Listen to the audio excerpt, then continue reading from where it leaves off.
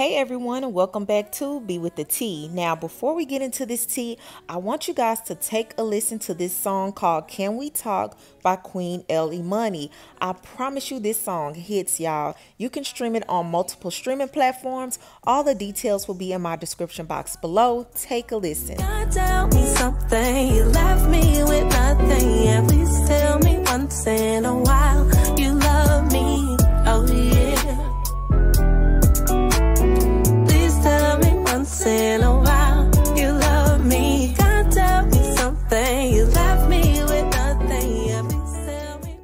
I told you guys that song hits. I will have all the details in my description box below. But let's get into this tea.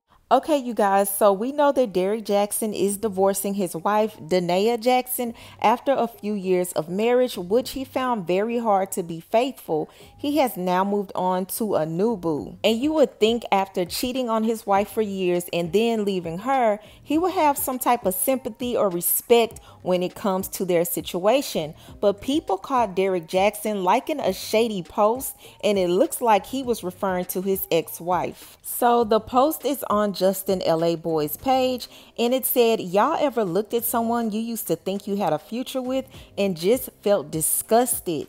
And guess who liked the post? Derrick Jaxn. So disrespectful. And this is how people responded.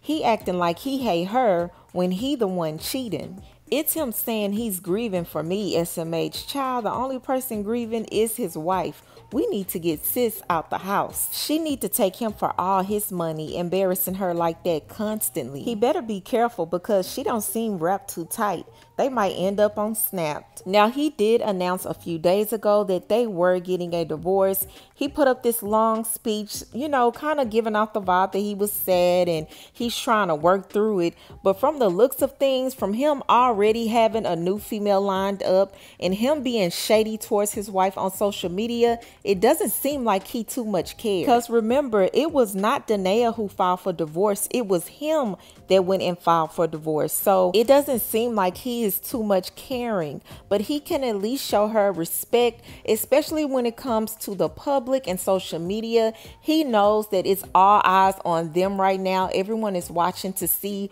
what's going to happen next. So the least he can do is not embarrass her more than he already has. But I want to know how you guys feel about this situation. How do you feel about him liking that shady post? And don't forget to stream and listen to the entire song Can We Talk by Queen Ellie Imani. I will have all the details in my description box below, but that's all I have for you guys, and I will talk to you later.